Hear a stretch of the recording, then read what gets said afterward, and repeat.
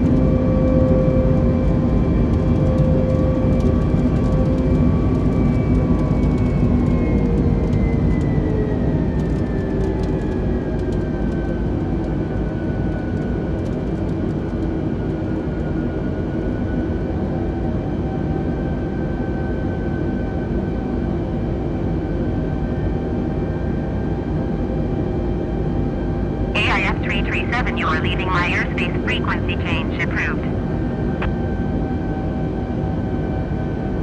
City Tower, AIF 337 frequency change. Northolt approach AIF 337 is type Airbus A20 and 5 miles west of London City. Request flight following. AIF 337 Northolt approach. Squawk 5066.